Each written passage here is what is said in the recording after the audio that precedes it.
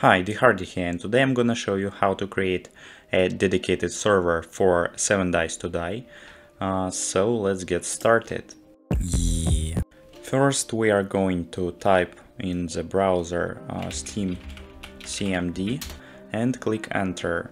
Here we can use, uh, here we can find this site called valvesoftware.com and the next step is uh, we need to download the file. Uh, the file for Windows uh, you can download here. Click add uh, one button and if you are using Linux you need to uh, read these instructions. So I'm using Windows and I'll show you how to do it on Windows. Yeah. So we need to download uh, this archive and uh, after it we need to open it.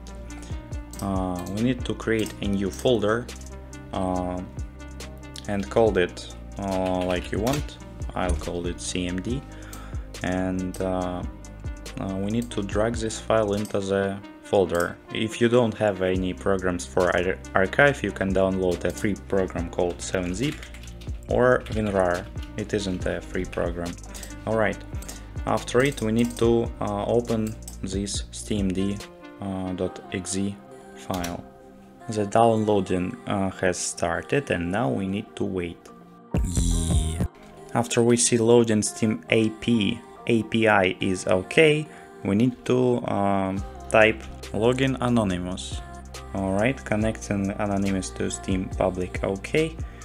And uh, after it, we need to mm, download um, games files. Uh, and to do it, we need to type app uh, underline update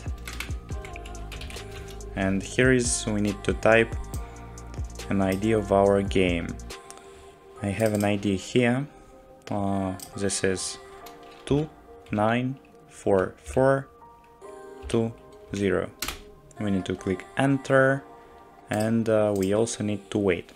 It will take some time, it depends on your internet, so we need to wait. Yeah. So we have installed our game server, we need to close this console panel and uh, now we need to uh, set up the server. I open CMD folder and now we need to go to the Steam apps folder, then common and uh, 7 days to uh, die dedicated server. And here we need to uh, find this file called server config. We need to open it. You can open it with just a Notepad from Windows but it will be more convenient to work with it in uh, Notepad++. You can download it in the internet. Uh, so we need to open it. I'll use Notepad++. And here we can see uh, many different uh, properties for our server. Uh, so uh, let's take a look from the beginning. And server name, I think that it's pretty simple. This is the name of our server. I wanna call it something like this. Uh, server description. We can set up the password for our server. If you wanna play only with your friends, for example, I'll set up the password uh, 22. Uh, region. Uh, you can watch uh, values for this property here. Uh, North America West and etc. I'll set it like Europe okay? And the language of the server. I'll set it as English. Here we can change max world transfer speed uh, for uh, this property uh, the maximum amount is about uh, 1300 so I'll set it as 1300 here are different settings for uh, slots but I don't want to use it uh, admin interface. Honestly I don't know what it means but uh, if you know what it means you can use it. Here is anti-cheat and you can uh, turn off this uh, parameter but I won't do this. And uh, many different options for our uh, world. I'll set it as default and um, most important things here are uh, these uh, properties. Uh, we need to save our game files. uh, we want to uh, join our server uh, where is uh, no data. Uh, we need to delete these uh, arrows